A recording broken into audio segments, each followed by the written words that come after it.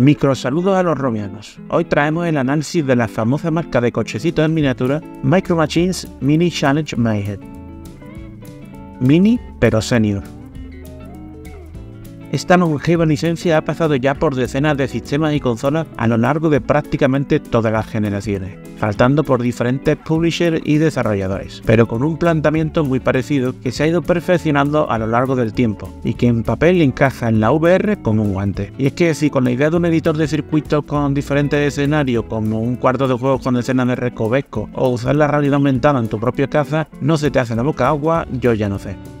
Ahora, solo falta que el conjunto de ideas y modos que han preparado Waymo Games a partir de ese concepto esté a la altura. Para empezar, lo que ofrece Micro Machines Mini Challenge Mayhem es un editor de circuito con tres escenarios diferentes, realidad aumentada, tres modos de juego divididos en numerosos niveles y tres cámaras a elegir. No suena nada mal, ¿no? El acabado gráfico es bastante simple, no lo vamos a negar, pero es el vivo ejemplo de cómo a veces es más inteligente saber cómo usar los recursos que plantear algo bruto a pelo sin pensar en lo que puede ofrecer un sistema. Y es que estos Micro Machines son bonitos a rabiar en directo dentro de nuestras quests. Los modelos en general no tienen demasiados polígonos y todo se en una estética cartoon para simplificar aún más su diseño. Pues con esas, el acabado final es muy limpio, con una muy buena definición y muy colorido.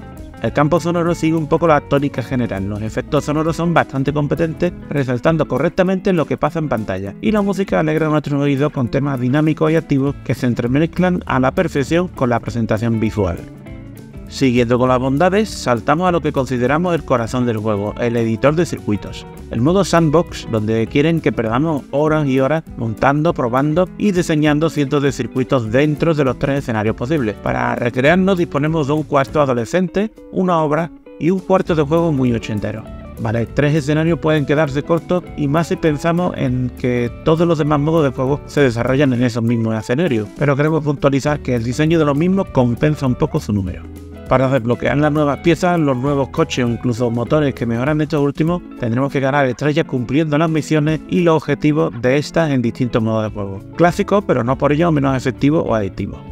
El primer modo de juego que plantea el juego es el Time Attack, donde a partir de un circuito predefinido tendremos que superar diferentes marcas para alcanzar el mayor número de estrellas posible. El segundo modo a destacar es el de demolición, donde se nos colocan diferentes sesiones concretas por el escenario que deberemos completar con un surtido limitado para derribar el mayor número de boros. Por último, tenemos unas misiones que se centran en pasar a través de unos jaros en diferentes rutas. Algunas misiones plantean un circuito cerrado y otras unas pistas que tendremos que rellenar con algunas piezas disponibles en el modo demolición el juego es un digno representante de la franquicia y un buen exponente de realidad virtual.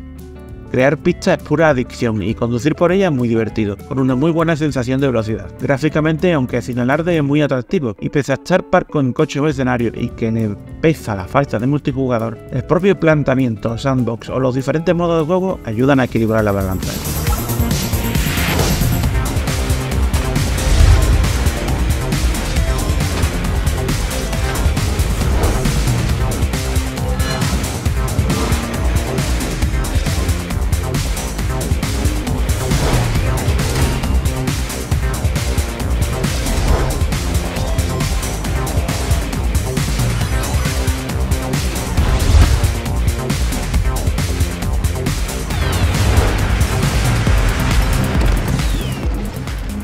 En definitiva, muy buen juego. Como positivo destacamos lo adictivo de crear pistas y probarlas, el buen diseño de los escenarios y lo vistoso de sus gráficos, y por la parte negativa o menos positiva, aunque esos vistosos gráficos son bastante sencillos. Queremos más coches, más escenarios y modo multijugador. Y bueno, también hemos encontrado algún que otro bug. Recuerda, tienes este análisis más extenso y detallado en la web de realovirtual.com, donde puedes dejarnos tu comentario sobre el análisis o incluso hacer el tuyo propio.